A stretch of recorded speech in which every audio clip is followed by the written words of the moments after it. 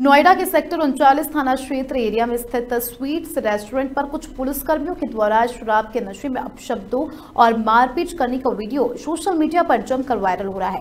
पीड़ित ने इसकी शिकायत सेक्टर उनचालीस थाना पुलिस से की है, जिस पर पुलिस ने सीसीटीवी फुटेज के आधार पर अपनी जाँच शुरू कर दी है। वहीं पुलिस के अधिकारियों ने कार्रवाई करते हुए सेक्टर उनचालीस थाने में तैनात दोनों पुलिसकर्मी, हेड कांस्टेबल रविंदर और पुष्पेंद्र, लाइन हाजिर कर दिया है। पुलिस के आला अधिकारियों का कहना है कि रेस्टोरेंट कर्मचारी और पुलिसकर्मियों के बीच खराब खाने को लेकर अपशब्द हुए और अपशब्दों का प्रयोग किया गया और मारपीट तक हुई। पीड़ित की तहरीर के आधार पर दोनों पुलिस कर्मियों को लाइन हाजिर किया गया है और आगे की जाँच शुरू कर दी गई है।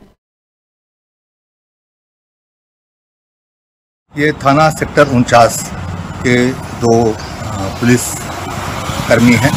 एक हेड कांस्टेबल है रविंद्र और कांस्टेबल पुष्पेंद्र। ये ज्ञात हुआ है कि ये दोनों कल किसी रेस्टोरेंट में खाना खाने गए, जहाँ पर खाने का कोई आइटम ख़राब था, खट्टा था जिसपे इन्होंने शिकायत दर्ज किया जिसपे कहा सुनी हो गई रेस्टोरेंट कर्मियों से, और इन पुलिस कर्मियों द्वारा रेस्टोरेंट के जो कर्मचारी थे, उनसे अभद्ता की गई है।